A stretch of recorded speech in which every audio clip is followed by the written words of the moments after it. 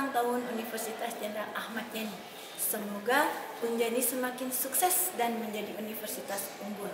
Terima kasih saya sampaikan kepada Bapak Jaksono, Rektor Universitas Jenderal Ahmad Yani dan jajarannya, Ketua beserta Panitia Dis Natalis Unjani ke-29, secara khusus kepada Koordinator Dosen Berprestasi Ibu Ance Murniati, Ketua LPPM Unjani, atas arahan dan dukungannya. Terima kasih.